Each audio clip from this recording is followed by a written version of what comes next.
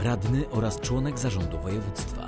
W ostatnich latach zrobił wiele, byśmy mogli leczyć się w godnych warunkach i na europejskim poziomie.